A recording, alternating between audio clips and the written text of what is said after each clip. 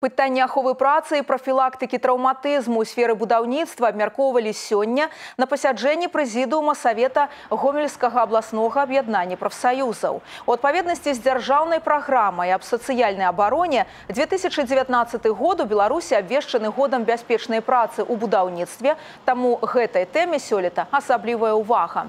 У мінулым годзе тэматычная інспекцыя абкама прафсаюзаў правяла 11 планавых праверак, падчас якіх выявіла больш за 100 парушэнняў заканадаўства па ахове працы.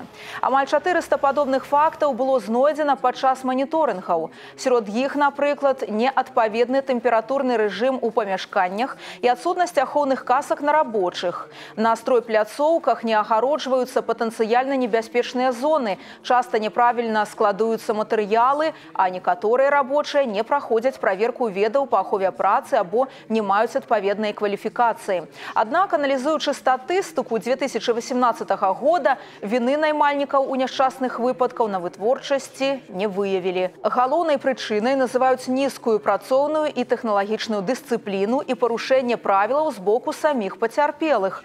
Падтрымліваць парадак на вытворчасці і сачыць за выкананнем нормаў дапамагаюць грамадскія інспектары.